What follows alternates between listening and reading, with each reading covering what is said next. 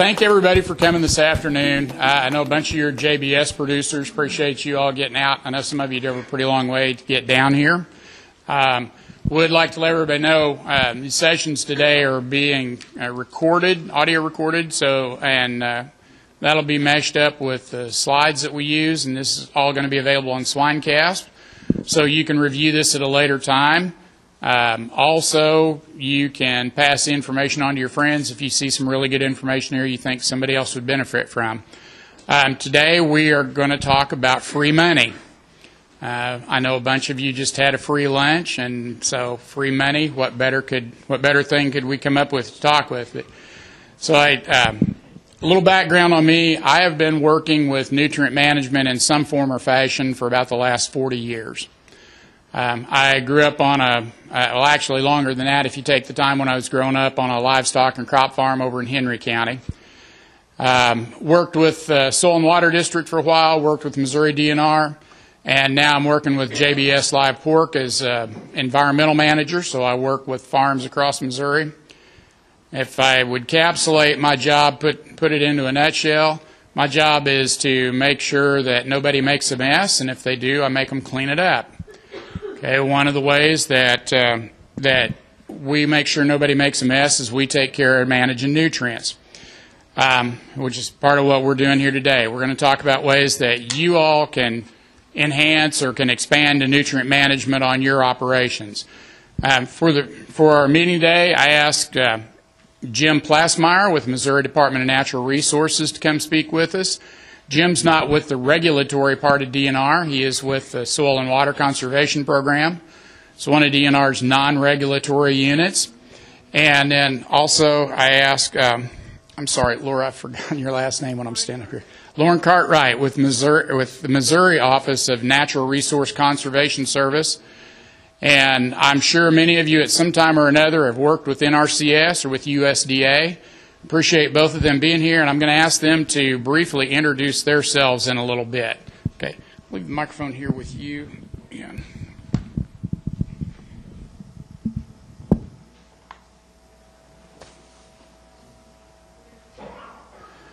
I put the contacts at the start of this presentation, so again, when you pick this up on the internet, you'll be able to pick up those contacts because I think some of you will have questions that you will come up with later on. We're only going to have 45 minutes today.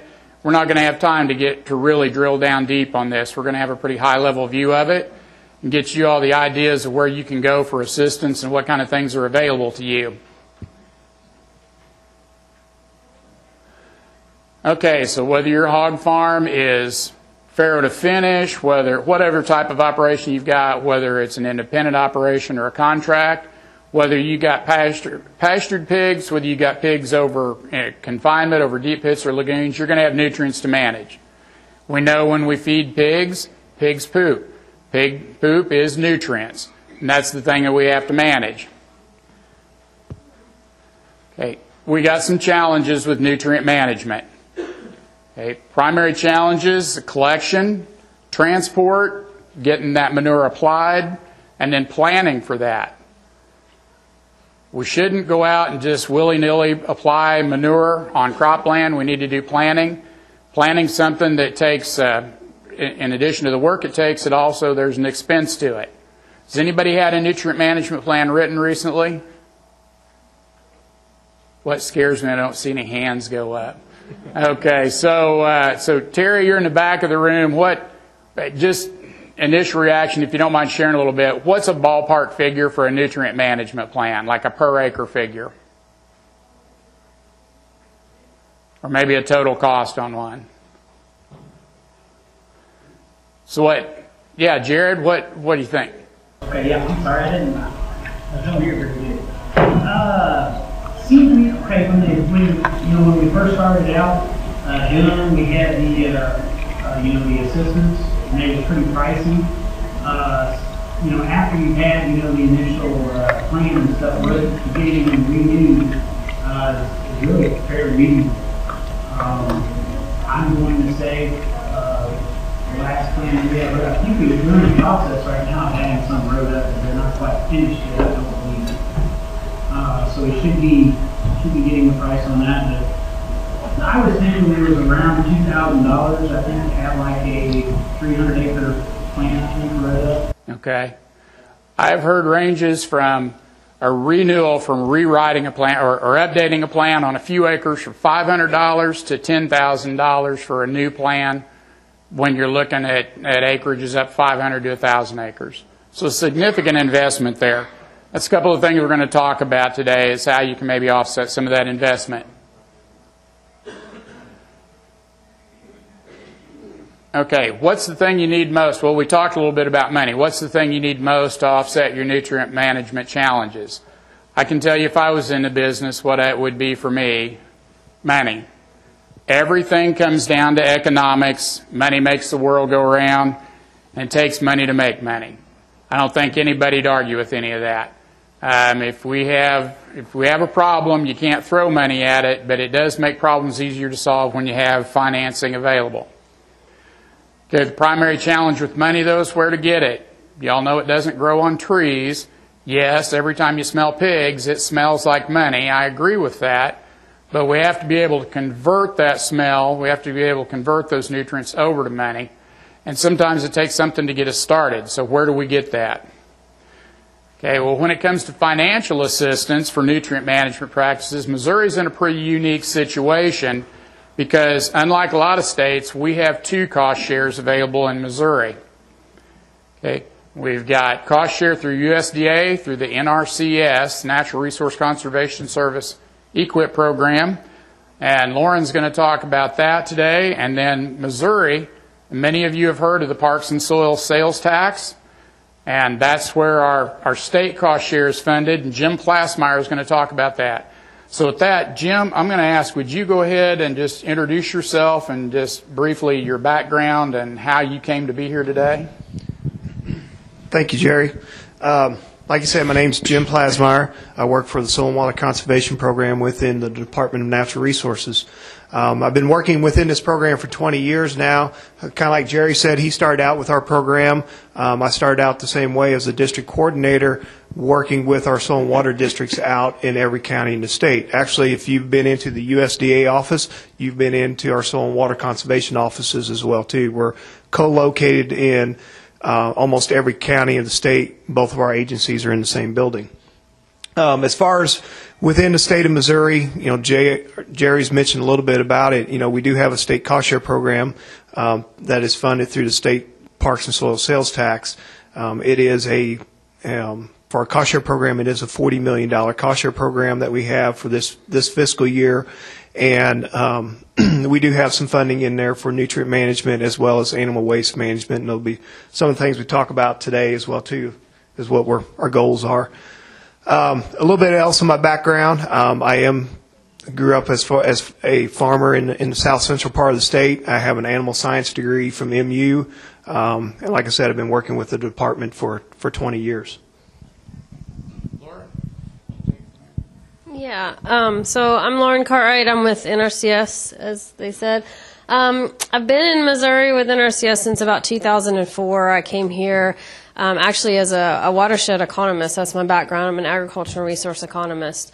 Um, and I just sort of morphed after a few years into programs work and have been managing the EQIP program for Missouri oh, about five years now, I think. Time tends to fly.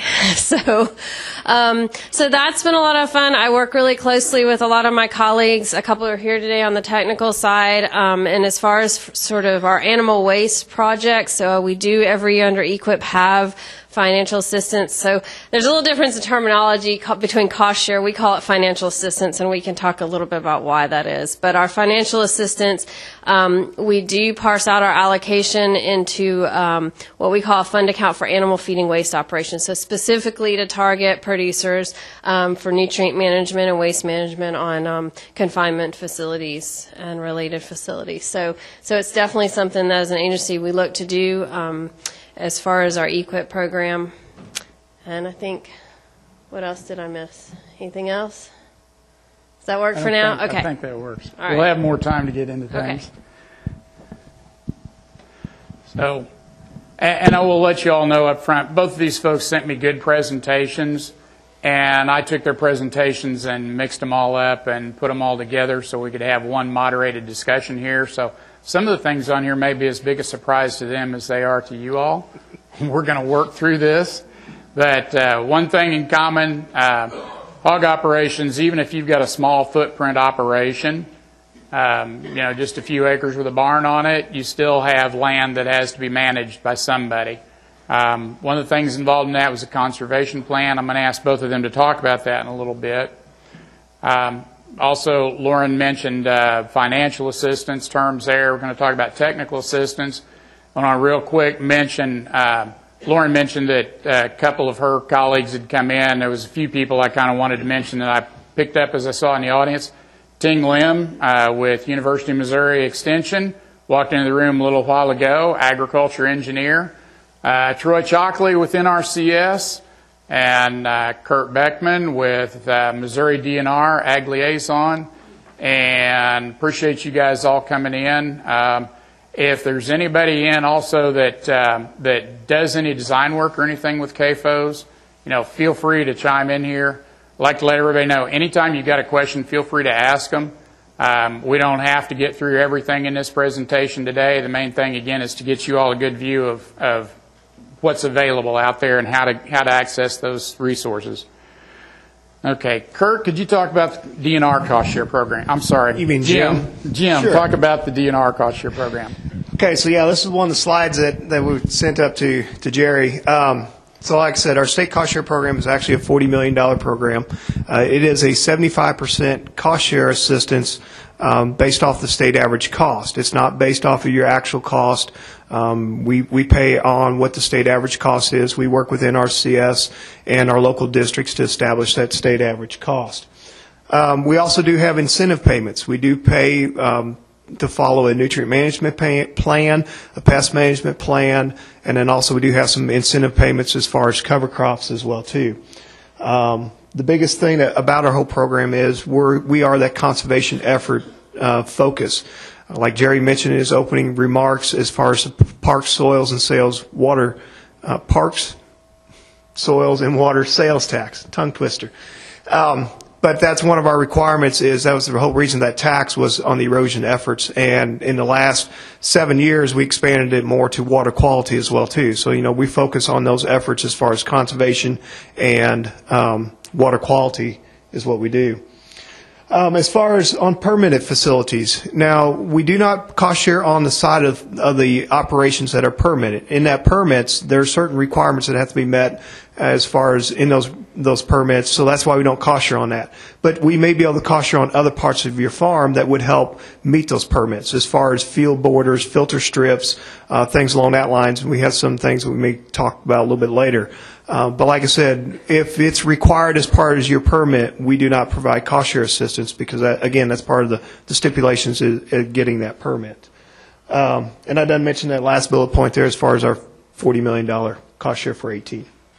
And that's $40 million per year, correct? We ask every year for our appropriation authority. We're going right now through the budget budgetary process, so it, it may change. Um, but this year, we're asking for $40 million as well for the FY19. State fiscal year starts July 1, so um, we are asking for another $40 million appropriation in fiscal year 19 as well. And is that 40 million getting, u- the, the annual appropriation you've asked, is that getting used every year? Is there some left over? Do you run short? Last year in fiscal year 17 was the first year that uh, we had a $40 million. So that was the highest that we've asked for. And last fiscal year, we spent almost $38 million of that 40 million. So that, that is, typically, we spend around 90 to 95% of our appropriation is typically what we spend every year. Because there's a lot of factors, weather, you know, economy and stuff like that, it plays into how we utilize our funds. Okay.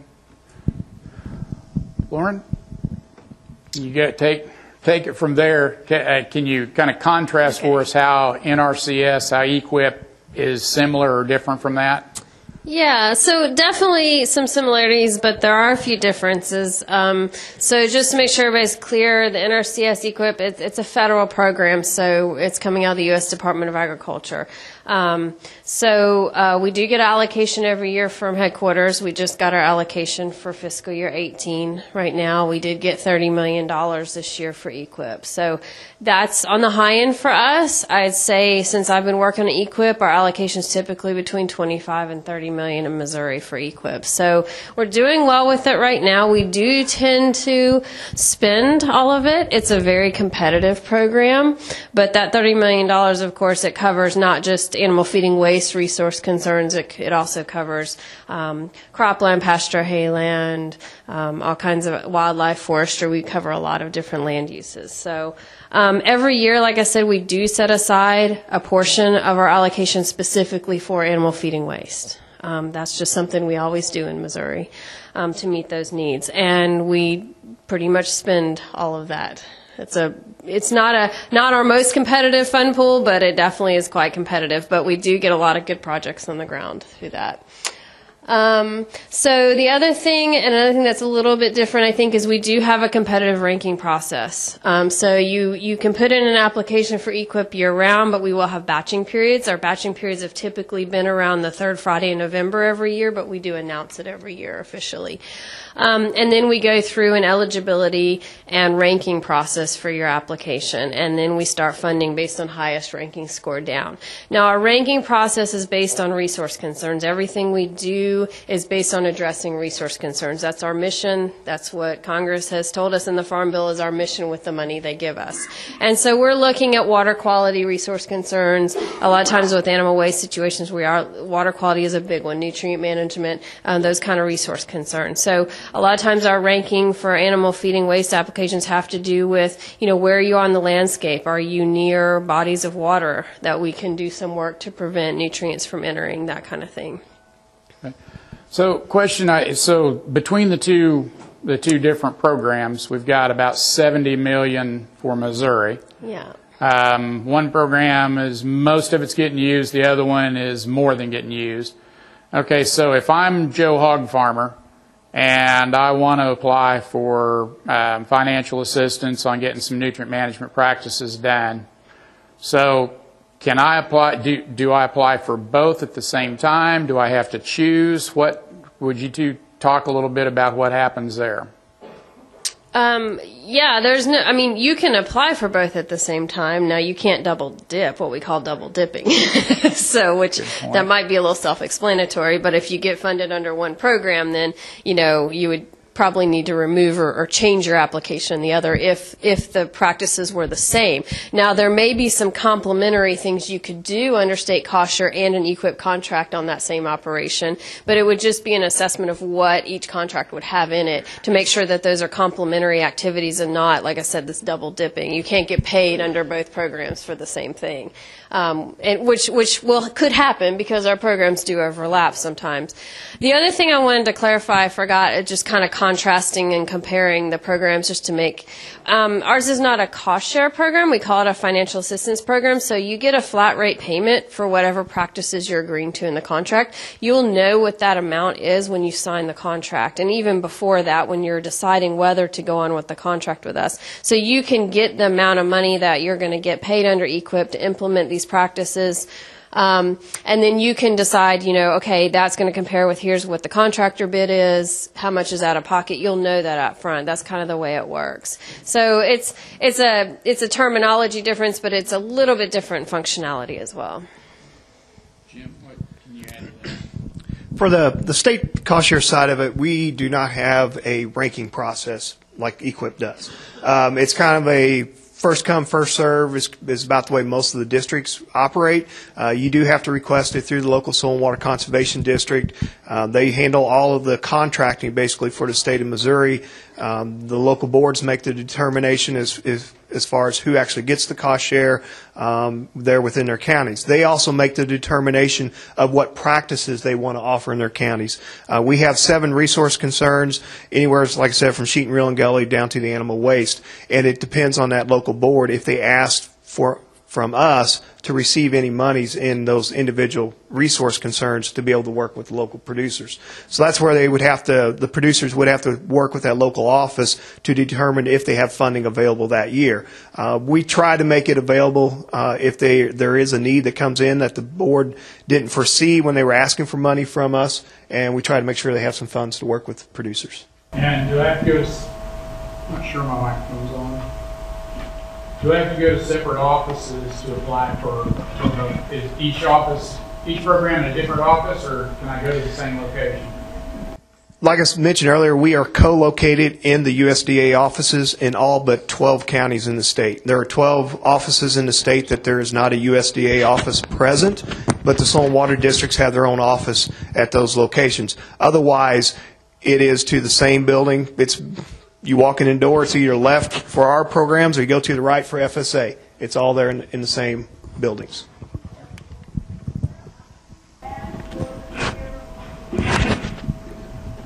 Okay, reminding here, technical difficulties. Okay, and Lauren, if I could get you to, this slide interested me a lot when I got to look at this, you talked, and I, I heard something the other day about USDA is gonna have a new website. Yeah, the secretary just, I- you know, the email's in my inbox and I have not had a chance to delve into it. There is some new USDA farmer, I think it's farmer.gov. Have you guys seen that website? Okay. I haven't had a chance to look at it, so I can't talk much about it, but there's an attempt in USDA to try to have a, a one-stop shop portal for farmers to go to figure out how USDA can help you. So, so we'll. Ch- I gotta check. I gotta learn a little more about that. So, um, conservation client gateway. This is something NRCS started a couple of years ago, and we're trying to ramp up. This is a way for you to apply remotely um, and manage your your application and contract if it becomes a contract remotely um, without always having to come into the office. So this may or may not be something you're interested in, but for those of you that um, that might be, you know, comfortable with those with using a computer in such a way. Um, this is something we're trying to get going. It's actually a, it's a decent platform. I have to say, I um, I've used it myself to try to test it out. I was like I was curious what it would be like to use it as a not as an employee but as a farmer, and uh, and it's it's pretty nifty. So I just always want to make sure and kind of put that out for folks when I'm talking to producer groups. Lauren talked about, uh, about focus areas a little earlier, and uh, does this slide lead into that right for you? Sure. Okay, you want to, uh, we'll talk about that for just a minute, why the emphasis on those particular areas? Okay, yeah. So um, one of the th- reasons I kind of put this slide together was because um, one of the things that, that Jerry asked me to do in preparing for this was to to take a little bit broader approach of what EQIP can can provide. Um, or NRCS assistance through EQIP can provide. So obviously we've talked about the animal waste and management opportunities and the nutrient management. Um, we might be talking about waste management facilities, things like that. Um, but we also have some other sort of initiatives or focus areas under EQIP that might um, be of interest. And one of them is our on-farm energy initiative. We've had this I think since the 08 Farm Bill, definitely since the 14 Farm Bill, um, and has really ramped up in Missouri, um, especially with our poultry producers. Um, so, uh, and and this is taking a lot of times, you know, existing housing facilities making them more energy efficient. And so we have some practices to do that. And what's involved in this also is to get an audit, an energy audit for your farm to see to identify ways your farm can be more energy efficient. And so there's financial assistance to get the audit. And then there's financial assistance to implement those ideas in the audit. And so it's a really interesting program. Like I said, it's been ramping up here in Missouri. Um, so I wanted to put that out there for you all because I don't think we've done a lot of work with hog. We've got two that have done energy, but really have focused in the poultry world. So this might be something that maybe you all would be more interested in taking advantage of, um, and we could branch out into that more. And then um, some other conservation opportunities. Um, you know, ideas, things like if if you are interested, we we've really been promoting like the monarch habitat recently. So if you've got some idle areas of edges on your farm, um, maybe putting that into pollinator or monarch habitat. We have some initiatives for that. Of course, field borders is always very popular, even through several programs. But we offer things like that. So just some some broader sort of ideas of thinking about that that earlier picture you showed of the on farm conservation plan. I'm going to move us along here a little. I want to get into a little more of the uh, actual practices and technical aspects. So we're going to kind of jump forward. Uh, Jim, real quick, if you would talk about that that part of it. This is kind of similar to, to USDA's focus areas. Right. This is, um, like I mentioned earlier, we have our, our cost share dollars broken out into our resource concerns. We have seven resource concerns as far as how our state commission allocates out the dollars to each of the districts. And then underneath each of the resource concerns, we have roughly 51, 52 practices throughout all seven of those resource concerns that producers can, can implement on their, on their farms. Okay.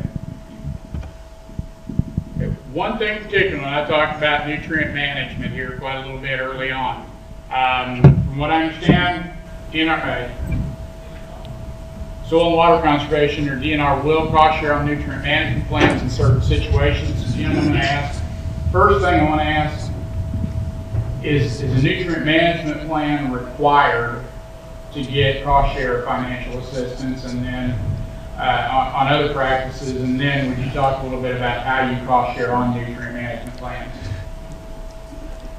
For a, a nutrient management plan, as far as where it's required, is on our animal waste facilities. Um, when we do provide cost share assistance on those facilities, there has to be a CNMP developed for those. And again, that is goes back to providing assistance with our technical advisors within our CS to give them the background that they need for the engineering side of it. So if we're doing something with swine, poultry, beef, dairy, they have to have a CNMP for that part of it. Um, and we do provide an incentive to help cover some of the cost of that CNMP. We pay up to $2,000 on a CNMP if they implement one of those structures. As far as on a nutrient management plan, we pay an incentive incentive for other purposes to follow a nutrient management plan. It may not, this, in this case, it's not an actual CNMP. This is just a basic nutrient management plan to apply the right fertility according to your soil test, whether it's commercial fertilizer or it's manure. Um, and we pay a $20 per acre incentive. Again, it's to follow that plan, to make sure you're implementing it correctly, you're recording the, the harvest yields, and in your timing aspects, it has the setback distances, what, how that plan is all developed. Excuse me. But like I said, it does not have to be a CNMP on these on this nutrient management. And again, this kind of goes back to what I mentioned earlier. If you do have a permitted facility and it's part of your requirement to have a nutrient management plan, then you're not eligible for this type of assistance through the state cost share. And I know that a bunch of you have nutrient management plans because I'm the guy who wrote the requirement for that. So this guy's telling you how you can get paid to follow along with the requirements that, that are set part of part of your production agreement. Um, Lauren, nutrient management plans, is there a requirement? Can you kind of follow along with what Jim was talking about? Sure. Yeah. So under EQIP, um, again, same thing. If um, if you're looking for financial assistance to implement a practice that is a um, manure system or storage facility, you will require or transfer facility, you are required to have a, a comprehensive nutrient management plan. Um, we do actually have financial assistance for this comprehensive nutrient management plan under EQIP, so you could sign up to get your CNMP one year, get that CNMP written, and then come back and sign up to implement the practices in that CNMP. So um, we do set aside money every year specifically for CNMPs um, that we take out of that animal waste funding, set it aside for the plant for people who need plans, and then and then the rest of the money is for the people who are working to implement those plans and put practices in. Hey, real quick, uh, both of you use the term CNMP, and we've talked about NMPs. And I require my folks to have an NMP. Um, but could you, real quick, what's the difference between a CNMP and an NMP? Yeah, so a comprehensive nutrient management plan includes the waste waste um, creation and storage and handling. Um, and then, and then if, app, if, if the application applica- is going to be applicable, application of those nutrients if that producer has land they're going to apply it to. Thank Okay. you. Okay. Okay. Um, Lauren, I think this is one of your slides, limitations. And Jim touched on that about permitted facilities. Could you address that a little bit? Does NRCS cost share on permitted facilities? Yeah, as far as I know, we don't have any restrictions as far as that goes. Is that correct? Okay, I'm getting back up here. so, yeah, we don't have restrictions as far as that goes. And actually, there is some language in the Farm Bill that specifically directs us to assist producers in those situations. So, um, so yeah, that's that's not a limitation we have. But these are some limitations that the EQIP program has. Um, and maybe Jim can can confirm whether or not this was similar for you guys. But um, the first one is we don't build animal housing. Okay, so um, that's the that's the number one rule and something we come across quite a bit. Um, also, for this financial assistance, you do need to qualify as an animal feeding operation. And I have the definition because there might be multiple definitions out in the world, but this is the one we use here. Um, so you need to actually be in an AFO to qualify for this financial assistance. Um, and then you must be an existing operation. So we do not we do not provide financial assistance for people to become new operators. Make Okay. sense? Okay. Yes, Jim. I just want to, uh, you know, on the state cost share side, basically, the the first one is s- we're in a similar case as well too on the animal housing part of it. We don't necessarily cost share on animal housing. Uh, we provide our assistance for the collection of the waste, the storage of the waste is the main focus of our state cost share program. Uh, we do not require them to be an AFO. We basically say it needs to be at a location that there there is a um, an issue with the manure handling or, you know, where they're feeding livestock currently and stuff like that. And then we're the same way, it has to be an existing situation. We won't provide cost share assistance on any type of expansion. It's based off the current animal units that are, that are on the farm. Okay.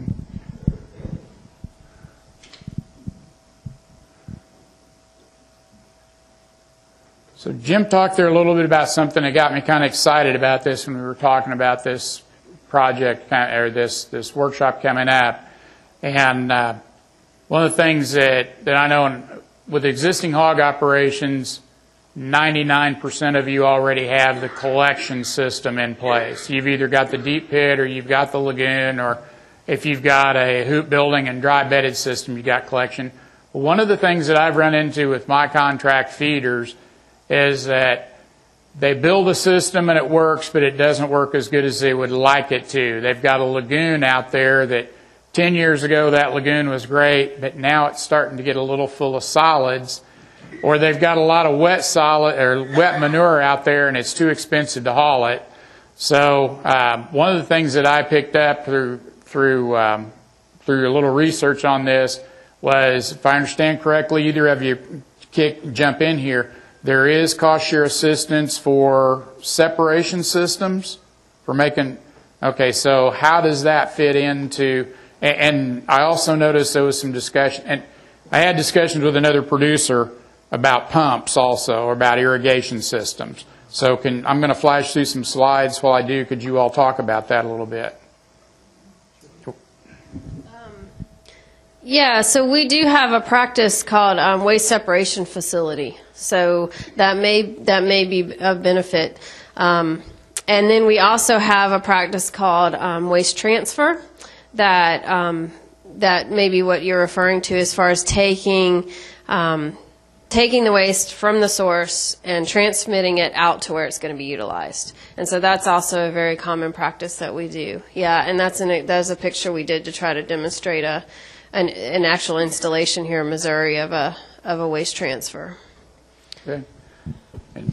As far as on the, the state cost share side, we do not cost share on the transfer part of it. Um, we do have cost share assistance for solid separators um, and also some of the storage pits, storage pits as well too. Um, but like I said, we do not do anything related to transferring of the, the manure.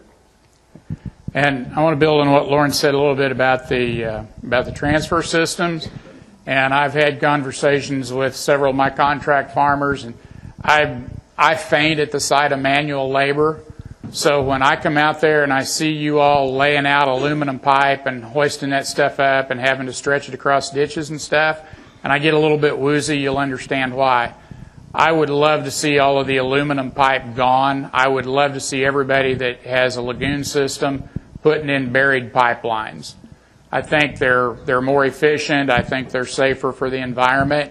That was one of the things that kicked off this session was the fact that I've talked to producers that said it's the cost that's holding me back from installing one. So I wanted to make sure we got that point across that there is, if, if you qualify, there is financial assistance for installing those those transfer systems to get those nutrients out to the field or, or to get them out further from where you're applying now. Okay, want to talk a little on dead animal disposal too. Okay, and what what are the what are the requirements there to qualify? From the state cost share side of it, it goes back to the um, um, looking at what the current facility is, what their um, percent mortality rates are, and that's how the buildings are sized based off of their current uh, operation. As far as uh, other requirements, uh, we do look as far as the nutrient management plan again, as, as far as how are they going to dispose of those dead animals, the compo- composted material, how they're utilizing it. Um, the biggest composting facilities that we probably provide cost share assistance on is on the poultry side. Um, I don't know that we've done very many on the on the pork side, um, but like I said, we do a lot with the poultry. Yeah, so um, yeah, we do have an animal mortality practice, um, and it can it can you can do all kinds of different technologies under that, from um, just a stacking shed, incinerators, drums, forced air, all kinds of different ideas in there that fit in that standard. Um, and the basic requirement, again, you need a CNMP that identifies um, what your needs are, and then we would need to do assessment of what your current situation is. And if you are undersized or or not man or the mortalities are not being managed and creating some kind of resource concern, then as long as you have a CNMP that identifies your numbers and needs and helps us to size it, then you would be eligible. So if I've just a, a for instance, if I've got an incinerator that's say 20 years old, I'm starting to get in bad shape. Maybe it's not keeping up. Can I qualify since I've got a, a current system? Can I qualify for a new a new type or, or a new um, a new dead animal disposal system in that situation? Yeah, that'd be a maybe. that'd be a maybe situation. Yeah, it kind of depends on what condition that. I mean, is that incinerator not functioning anymore, and we're creating a, a, wa- a resource concern because the animals are now not being managed appropriately as far as their disposal and management, or is it just you know if it if it's functioning even though it's old? And it's sized correctly for your current operation, then probably not in that case. Does that make sense? So- Yes. Okay. Jim, what systems, I'm not sure I caught this, what systems will state cost share cover? And specifically what I'm wondering, does it have to be a composter? Can it be an incinerator? Does it have to be the bin type composter? It can be one of these drums or what, what will you cost share on? Well, we the slides up here, you know, are actually slide or pictures that we provided. So we do cost share on both the composting facility as well as incinerators. Um, everything that we have right now, working with NRCS based off what the state average cost is, we really don't have a, a cost associated on the drum composters. But we have done some work as far as trying to figure out on a sizing of the drum composter, how does that correlate to a bin composter, and try to work out a cost share arrangement between the two. So we've done some work. Um, I don't know that we've actually cost shared on one of the drum systems yet, but we have done some analysis trying to, to make that feasible as well too. Okay. But again, it's it's based off of looking at a bin composter on some of the cost. Okay.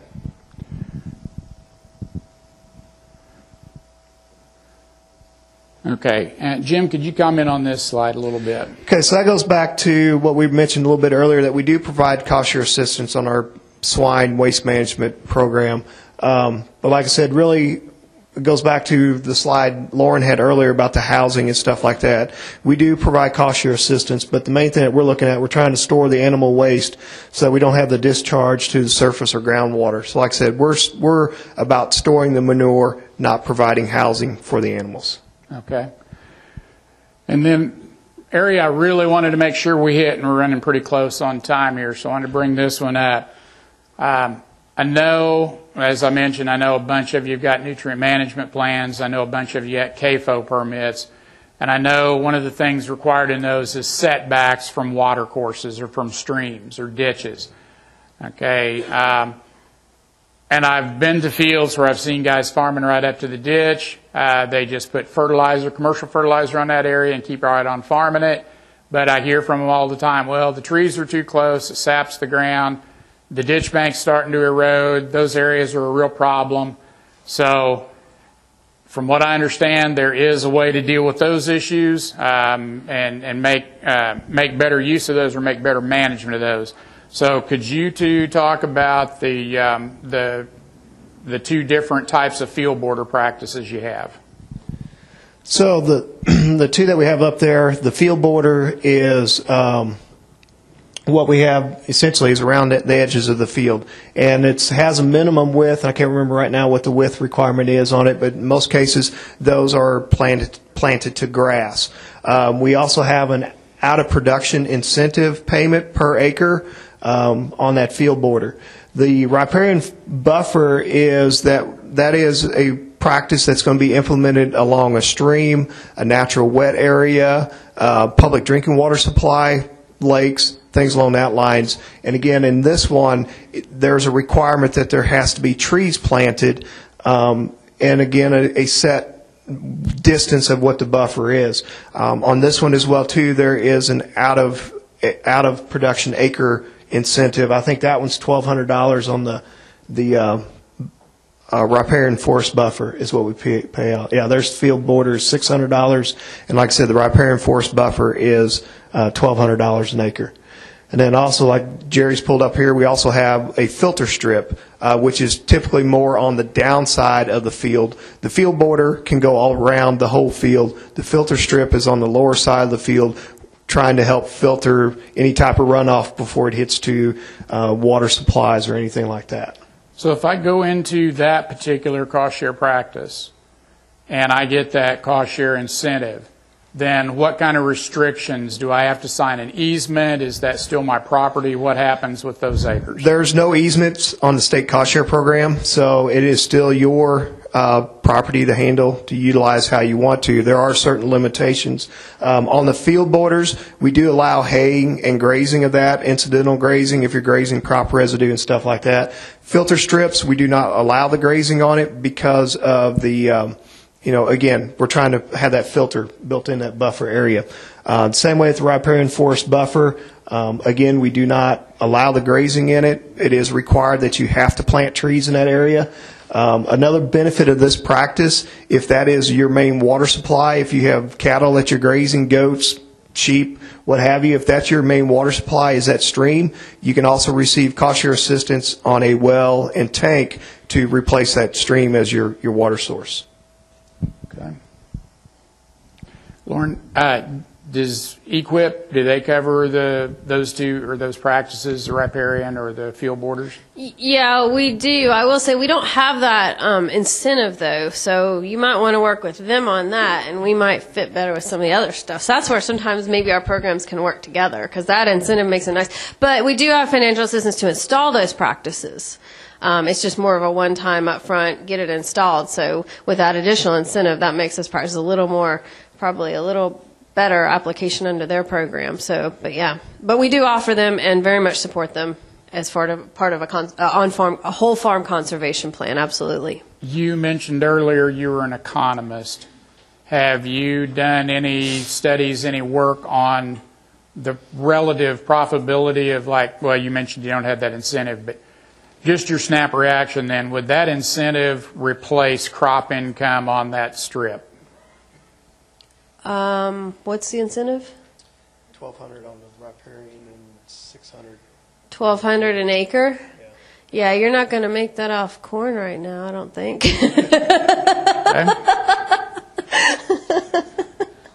Just Okay. huh? Oh, it's tenure. You got to amortize that over ten years. Okay. Uh, So Lauren, real quick, you talked about the energy thing, and you also talked about other opportunities. So I want to give the next two slides to you because we're running pretty close on time.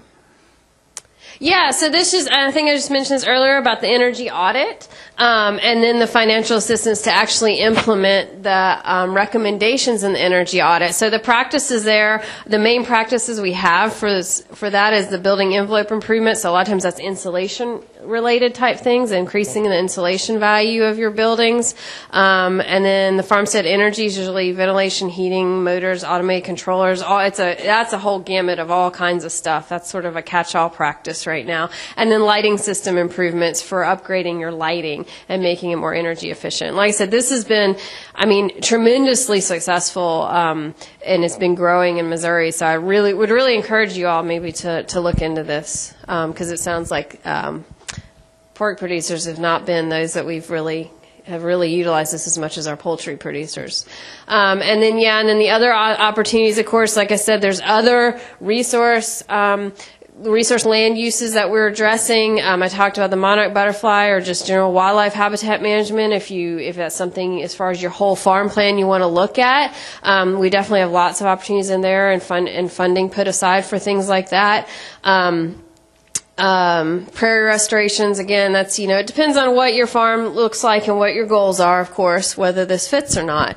Um, but these are certainly other opportunities when you're looking at whole farm planning. Um, and just wanted to touch here, we've also been promoting the last couple years the idea of agroforestry in the state. Um, Missouri is really well poised to, to really um, improve production or expand um, or diversify production through some of these agroforestry techniques. So we've been putting some money into a fund account for agroforestry and trying to get a little more education and awareness out. So these are some ideas of practices um, under agroforestry like silvopasture and alley cropping and of course windbreaks. Windbreaks also have a dual role around confinement operations for odor control, so they can so they can be used on the landscape in multiple ways. Okay. Yeah. I know we are a little bit past the time, and we, I didn't give the audience much chance for questions, so I'm going to open it up the floor here real quick. Uh, has anybody got a question? I mean, you've got you've got technical assistance and administrative assistance both. Has anybody got a question here that they would like to, to get out on the floor to get an answer to?